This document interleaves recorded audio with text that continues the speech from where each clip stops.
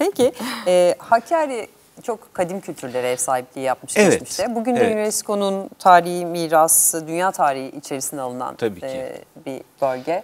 Neden? Şimdi aslında Hakkari'yi tabii Anadolu ve Mezopotamya bağlamında değerlendirmek lazım. Şimdi siz biraz önce şimdi Hakkari'nin e, araştırmacılar aslında Hakkar topluluğuna yani Sümerlere kadar ismini götürenler de var. Ne dediniz? Ee, Hakkar diye bir Hakkar. to- topluluk var. Ondan dolayı Araplar buraya fethedince e, sonuna iye getiriyorlar. Yer eki Hakkariye, e, Hakkarların yurdu denen. Bunlar tabii ki net matematiksel formül gibi değil. Farklı farklı e, şeyler var.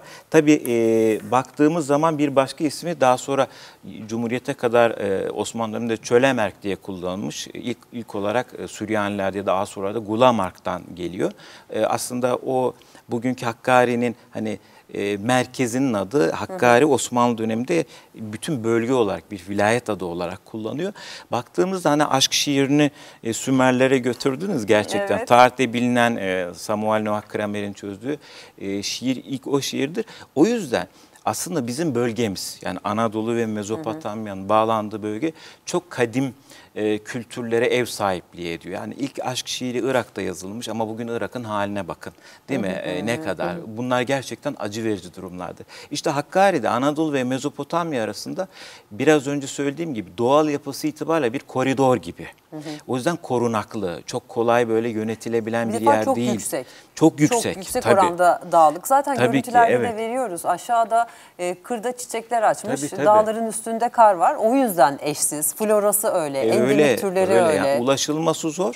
E, bu döneme bakın 21. yüzyıldan bahsediyoruz. Eski dönemlerde daha da korunaklı.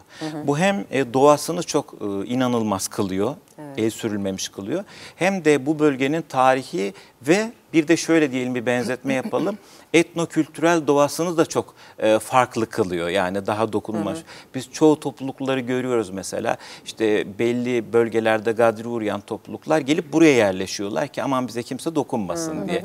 Ve yaşıyorlar. Aynen bitkilerde olduğu gibi bu da bu noktada böyle. O nedenle gerçekten tam anlamıyla bir açık hava müzesi gibi diyebileceğimiz bir e, yerden bahsediyoruz. Tarih boyunca Sümerlerden başlatıyorlar. Hani Romalılardan, Medlerinden, Perslerinden, daha sonra Oğuzlar, Selçuklular, Osmanlılar, İlhanlılar. Hatta ben size bunu şunu söyleyeyim. Pek çok toplum geçmiş.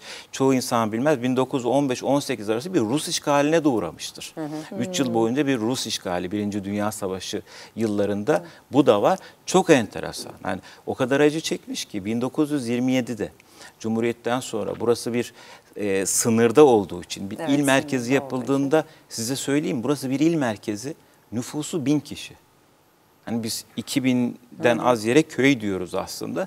Hem hastalıklar hem bu bölgedeki isyanlar, savaşlar, Birinci Dünya Savaşı'ndan sonra ancak 40'lardan sonra Hakkari kendisini toparlamış e, ve nüfus olarak da artmış ama dediğimiz gibi e, sürekli olarak e, bu bölge e, bir açık hava müzesi gibi Evet, bir yer. e, ama dağ- dağ- dağcılık çok yapılıyor ve üstelik orada buzullar var. Evet. Türkiye'nin tek Tabii buzulu ya Ciro ik- dağlarındaki ikinci buzullar. yüksek yeridir biliyorsunuz İkinci ve şimdi yeri, evet. şurada bir sıkıntı var. Şimdi ben bir tarih çok coğrafyacı değilim tabii ki. Ben tarihi açısından bakarım.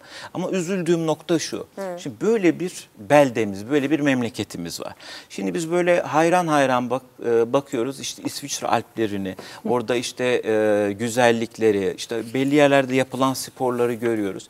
Ama maalesef bu bölge e, hem yani ülkenin doğusunda olması, yani ülkenin kalkınma sürecinde ister istemez bu bir realite. Batıdan doğuya anca Türkiye kendini toparlayan e, genç cumhuriyet bir ülkeydi. Yavaş yavaş bu devam etti.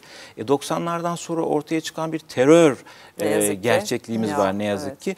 Biz böyle e, güzel beldelerimizi gerçekten çok sıkıntılı bir şekilde, hani bir de bizde şu var, üçüncü de bunu ekleyeyim. Bu toprağın insanları biz pazarlamayı bilmiyoruz. Yani elimizdeki kültürel zenginliği, doğal zenginliği. Mesela herkes koşa koşa Mayıs ayında Japonya'daki kiraz çiçekleri festivaline gidiyorlar. Değil mi? Bu Japonya'nın muazzam, gerçekten de güzel. Çok Bu güzel, doğa evet. hadisesini hani şimdi samuraylar dedik. Samurayların güzel bir sözü var söylemeden geçemeyeceğim. Bir samuray kiraz çiçeği gibi ölür diyorlar. Kiraz çiçekleri solmadan tık diye düşer biliyorsunuz. Samuray'da tam savaşırken yaşlanmadan ölür diye bir felsefeleri var. Mesela burada festival yapılıyor ama çoğumuzun haberi yok ya da gidemiyoruz. E, ters lale ile ilgili festival de var burada. E, aslında mesela bunu biz pazarlayamıyoruz da. Evet, doğasını biraz bu konularda bir haydi çıkarabilirdik buradan ki. dünyaya e, yine söyleyebileceğimiz. Yani muazzam bir aslında. Hakkari'nin konuşacağımız çok daha başlıkları vardı. Tabii, tabii. Örneğin eşsiz bir balı var, bu vardı. Yine kendine özel güzel mutfağı var ve orada siz biraz değindiniz aslında hangi kadim kültürlere ev sahipliği Tabii. yaptığını e, biraz anlattınız. Diğer- Onların içinde Süryaniler, Keldaniler, Nasturiler diye Ha de şunu da hemen bir alt Bir başlık cümle. vereyim mesela bir cümle. E, 300 yıl boyunca burası Nesturi Patrikliğinin merkezini Konak Köyü diye bildiğimiz köy. Mesela 300 yıl burada bir e, inanç merkezinin patrikhanesi vardı Nesturilerin. Patrik şimdi nerede? Chicago'da. Ya, evet.